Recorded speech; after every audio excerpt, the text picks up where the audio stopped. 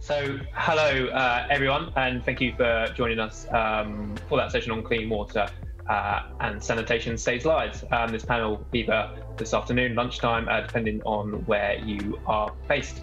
Going back to before the UN actually adopted the human rights of water and sanitation as uh, as a human right, the mandate started already to think about, and companies were already starting to ask, you know, if we're looking at the social elements of water, what is our responsibilities as it relates to, to water-related issues um, for communities and for people, more generally? We've been working, for example, with Water.org on this other part of SDG 6 for a few years now, um, and what we've learned is that a toilet is so much more than a convenient thing that you have access to.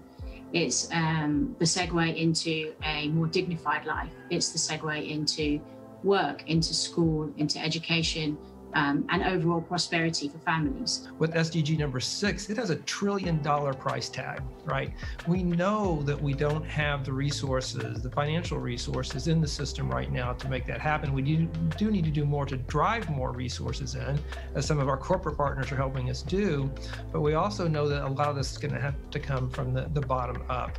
And at water.org, what differentiates us is the access to finance that we're trying to deliver to so people in poverty can get the the types of water solutions that are best for them. What we're all doing is is not nearly enough, right? As as, as Gary mentioned, I, I couldn't agree with him more that we're not going to reach SDG number six purely through corporate efforts or or through grants and we need to reach scale through innovation new approaches new ways of financing new partners um, and i think you know change takes time but time is now